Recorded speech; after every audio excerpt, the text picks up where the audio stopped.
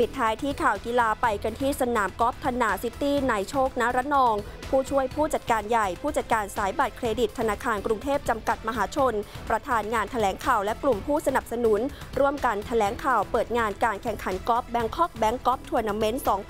2019 ที่จัดขึ้นต่อเนื่องเป็นปีที่ 7 หลังจากประสบความสำเร็จในกิจกรรมดังกล่าวตลอดระยะเวลา 6 ปีที่ผ่านมา โดยปีนี้ธนาคารกรุงเทพผนึกกำลังกับ 10 สนามชั้นนำของประเทศ อาทิสนาม Alpine Golf Club The Royal Gems Golf City พร้อมกับรางวัลอีกมากมาย ส่วนผู้ที่สนใจนะคะ ก็สามารถเข้าไปดูรายละเอียดได้ที่ www.bangkokbank.com ค่ะ